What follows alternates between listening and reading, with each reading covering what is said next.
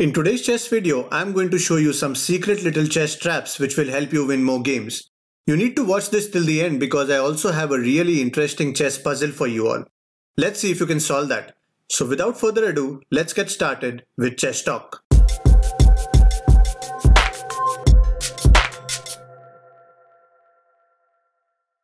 Hello chess friends, I am Jeetendra Advani. Firstly, congratulations, our Chess Talk channel now has more than 200k subscribers. I would like to thank each and every one of you for your incredible support. This wouldn't have been possible without you all. And in case you haven't yet subscribed, then hit that red subscribe button below this video right now. Okay, so the tricks I'm going to show you now can be played by black in the famous Budapest Gambit variation. So let's get straight into it.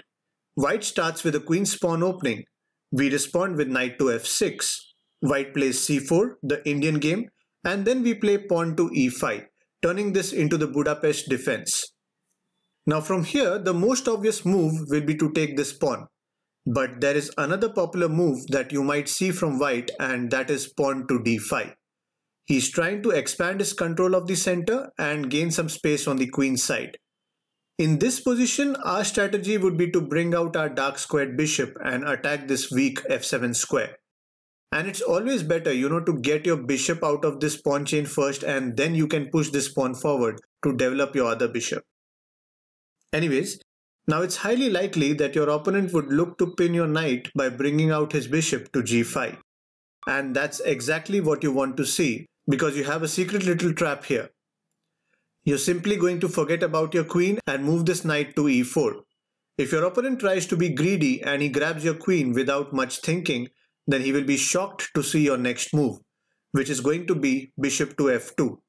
That's check and mate in just 5 moves.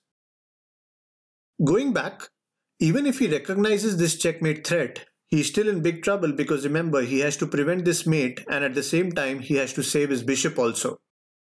So he might come up with something like bishop to e3, but after bishop takes, pawn takes back, queen h4 check, white plays pawn to g3 which is the only legal move he has, we can then simply take this pawn with our knight.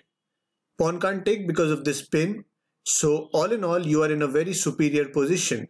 White's king is out in the open and you have so many attacking options. You should easily win it from here. Now let's go back and see another cool variation. In this position, most players as white will look to capture this pawn to gain an early advantage. Your strategy is going to be simple.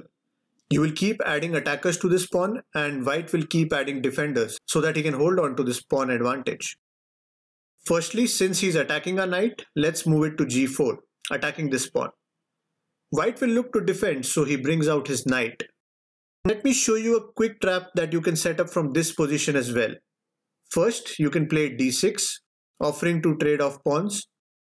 White will most likely take this because it's a great opportunity for him to get rid of this weak doubled pawn. After white takes, you can take back with your bishop. Now in this position, most average players start to get very uncomfortable with this knight. Hence you can expect a move like h3 or g3. If he plays anything like this, then he's gone. Let me show you how. After h3, you will play the killer move knight captures f2. You're double attacking the queen and the rook. So he will have to take with his king. But that's a blunder because after bishop to g3 check, it's a discovered attack on the queen and unfortunately for white, the king cannot go back to support. So king will take the bishop and we will simply grab the queen like this and you should easily win it from here. Okay, now let's go back and see another interesting variation. Now instead of playing d6, we can continue to attack this pawn. So we bring out our knight to c6. Again, this time white defends with his bishop. Now we will develop our dark squared bishop and give a check. The king can't move. He obviously can't block with his queen and if he blocks with this knight or bishop, then he will lose a defender to this pawn.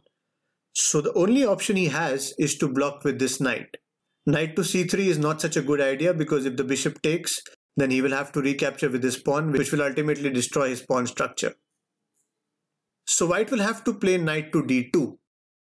From here, we will continue attacking this pawn. this time by bringing out our queen to e7. A very common continuation from white would be to push these pawns forward with the idea of trapping this bishop. So white will start off with pawn to a3. This is what we were looking for. From here, we can set up another deadly checkmate, which is called the Kieninger trap. For the moment, we will ignore this bishop and instead capture this pawn with our knight. And if white decides to take your bishop, then he can pack his bags and go home because knight to d3 will be a beautiful smothered checkmate. Going back, even if white does not take your bishop and takes your knight instead like this, then you can simply take back with your knight. Still white cannot take your bishop because this checkmate threat still exists. So the best move for white would be to play e3, defending the d3 square with his bishop. After this, bishop takes knight check and queen takes back.